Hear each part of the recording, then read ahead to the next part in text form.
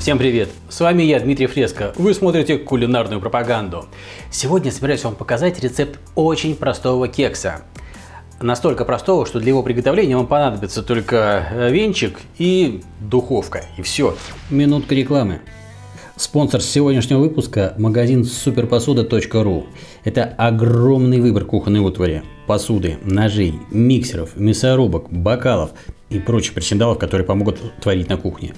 Если вы подумаете о подарке близким или себе любимому, досматривайте ролик и проходите по ссылке в описании. Что особенно приятно, интернет-магазин суперпосуда.ру предоставляет промокод COOLPRO на 500 рублей на первую покупку в магазине. Этим промокодом вы сможете оплатить до 20% стоимости заказа. То есть, если ваша покупка на 2500 рублей, вы платите 2000 из кармана и 500 промокодом. Если заказ на 1250, то есть в два раза меньше, то вы заплатите только 1000.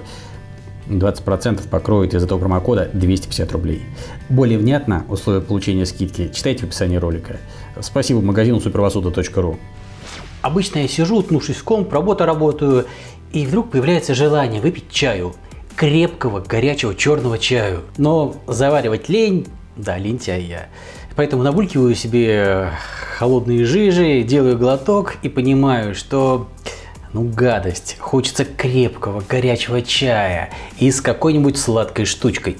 При наличии двух малолетних операторов в доме покупка сладостей впрок ну просто бессмысленная. Все съедается ровно в тот день, когда сласти оказались на пороге дома. Поэтому у меня на вооружении есть целая куча рецептов быстрых, нетрудозатратных, которые меня и спасают. Итак, для сегодняшнего кекса нам понадобится размягченное сливочное масло, сахарная пудра, э, лимоны, э, лайм для украшения, яйца, ваниль или ванильный сахар или ванилин, не суть важно, мука, ну вот ягодок всяких я пристроил. Они не нужны, они только для того, чтобы украсить потом десерт на ваш вкус.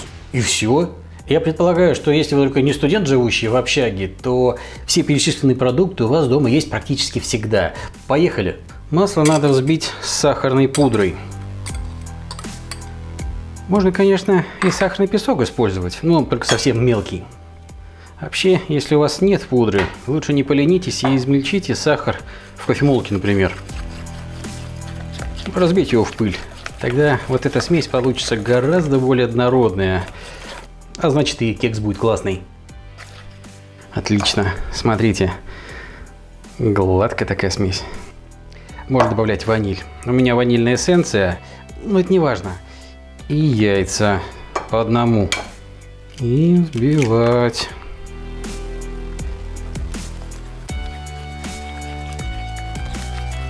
Я использую в готовке яйца среднего размера, поэтому и пропорции а, в этом ролике даю тоже в расчете как раз таки на них. И это яйцо тоже надо бить в смесь. Кстати, если у вас электрический миксер есть, можно его использовать. Теперь ароматизация. Надо натереть цедры лимона.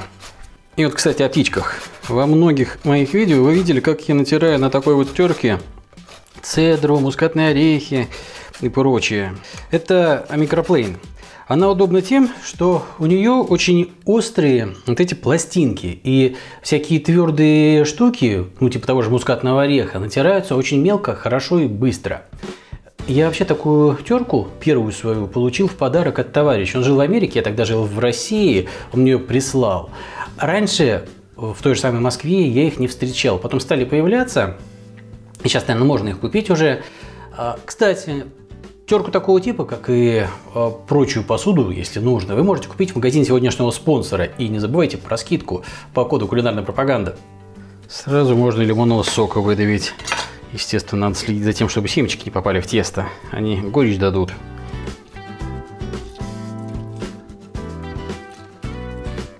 Побольше, побольше лимонного сока. До капли. И опять перемешаю от однородности.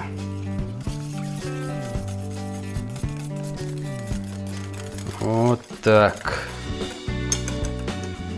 Ну и мы потихоньку приближаемся к завершающим этапам приготовления. Вернее, не приготовления, а смешивания теста. Сначала в сухом виде надо размешать разрыхлитель с мукой, чтобы равномерно муки распространился. Разрыхлитель, э, не пищевую соду. Знаете, почему такое замечание делаю? Есть на канале ролик, например, про маффины. Ну, кто не видел, щелкайте да посмотрите. Так вот, в том ролике по рецепту на то количество продуктов э, нужно использовать 3 чайных ложки без горки разрыхлителя. Вы не представляете, сколько раз мне приходили сообщения по поводу этого рецепта, что все здорово, но разрыхлителя слишком много, сода чувствуется. Начинаешь разбираться, выясняется, что люди вместо разрыхлителя соду положили.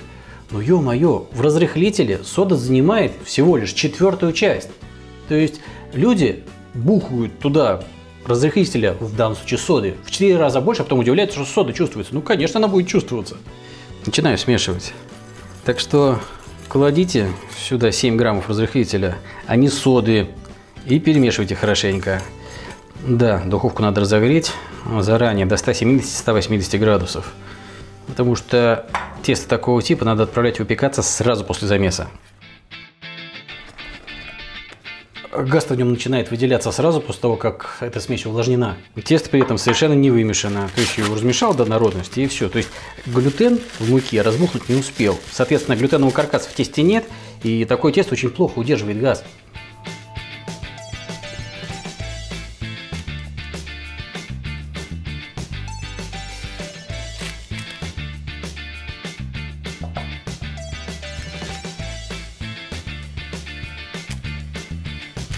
Так что, как только смешали, сразу же в печь. Что касается времени выпекания, зависит от реальной температуры духовки, ну и от высоты кекса. По сути, от размера формы. В моем случае все займет минут 25. Вы же смотрите по своей духовке и по своей форме, по своему кексу. Как проверить готовность? Очень просто. Ну, во-первых, естественно, внешний вид. Готовый кекс красивый, румяный. А во-вторых, зубочистка. Втыкаете ее из готового кекса. Она вытаскивается с неналипшим э, тестом, да, то есть она такая суховатенькая достается. Ладно, пока он выпекается, у меня есть время заняться различными финтифлюшками для украшения. Это будут взбитые сливки с мятно-лаймовой отдушкой. Если уж кекс совсем простецкий, то надо хотя бы за счет дополнительных штучек подачу обыграть, верно? Тут все просто. Несколько листьев свежей мяты я хочу размять с парочкой ленточек цедры лайма. И как следует растереть их надо в кашу, чтобы ароматы цедры смешались с мятой. И добавить сока лайма, конечно.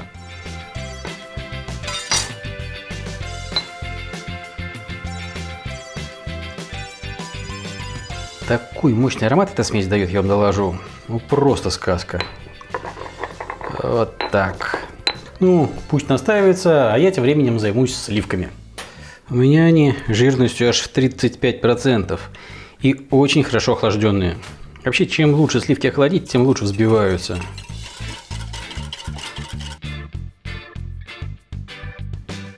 И надо, наверное, немного сахарной пудры добавить. Ну и взбивать. Вообще, насчет пудры, это по желанию. Если сливки взбивать с добавлением вот этой вот штуки, я имею в виду с кислинкой, соком лайма, ну и с мятой, то, возможно, вам больше по душе придется варианты без пудры. Но это, конечно, надо пробовать. Кому-то более сладкий соус нравится, кому-то более кислый.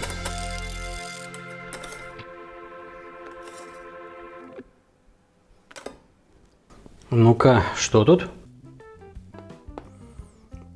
М -м. Класс! Как по мне, это идеально сбалансированный вкус. Здесь нежность взбитых сливок, легкая сладость пудры и достаточно мощный такой аромат, вкус, вот этот вот кислота лайма. Еще это освежается мятой. Вот, вот здорово. Да, конечно, на ваш вкус вы под себя подбираете соотношение между количеством сока лайма и мятой и пудрой. Мне нравится, когда он более кислый, чем сладкий. Но в принципе это классно. Ладно, что, собственно, говорить, и сливки трескать.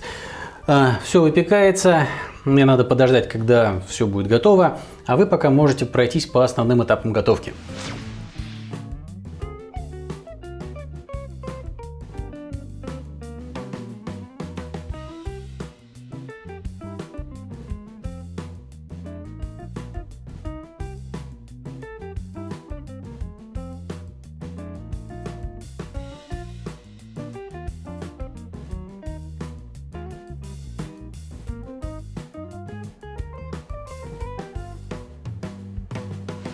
Все готово. Вот такой кексик. Надо располосовать. Он очень нежный, очень рассыпчатый. Прям, а, красота.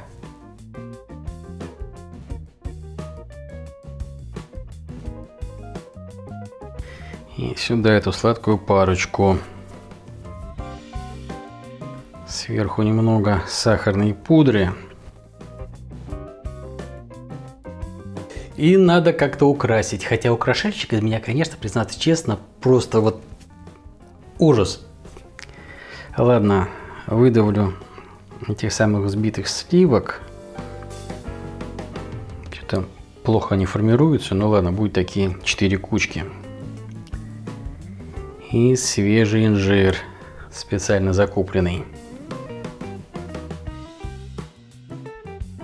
Красивый, черт возьми, какой красивый, а?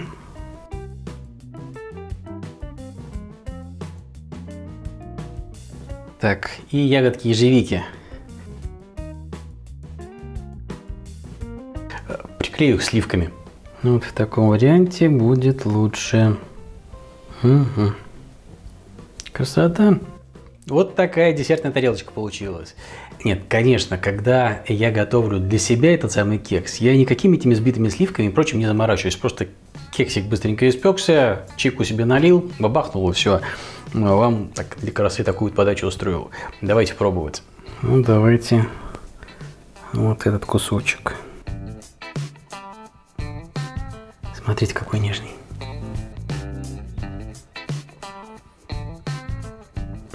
Знаете, в чем прелесть? Он получается очень воздушный, очень рассыпчатый, просто как пух, с легкой сладостью, с достаточно ярко выраженной э, кислотой лимона, ароматом лимона цедрой. Просто класс. Просто класс. Ну, давайте я инжирину утащу. И вот такой соус, такие взбитые сливки сочетаются просто прекрасно, потому что инжир, на мой вкус, избыточно сладок, а вот эти сливки с соком лайма а, кислят. Так, вот, и получается очень яркое сочетание. Так.